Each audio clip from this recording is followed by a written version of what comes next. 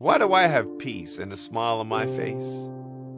Why am I known out there in the world as someone without arms and legs but radiates joy and hope? It's because I found the real hope.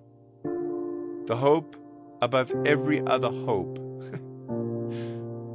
because I found the name above all names Jesus Christ of Nazareth.